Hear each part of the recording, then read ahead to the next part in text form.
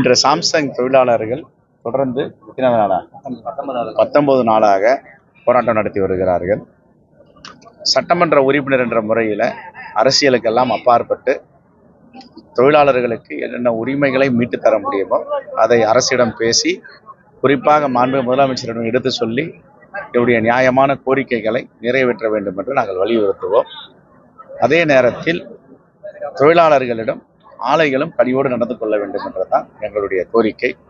அவருடைய பல அம்ச கோரிக்கைகளை வலியுறுத்தி இந்த போராட்டத்தை முன்னெடுத்திருக்கிறார்கள். ஜனநாயக நாட்டில் போராடுவது தார்மீக உரிமை போராடலாம்.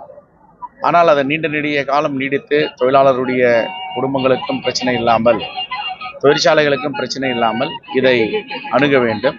அந்த முறையில் தான் இன்று நான் இங்கே வந்து இவர்களை சந்தித்து பேசியிருக்கிறேன். இன்னும் ஓரிரு நாளில் மாண்பு முதலமைச்சருடைய கவனத்திற்கு இந்த பிரச்சனை எடுத்து சென்று பேச இருக்கிறேன்.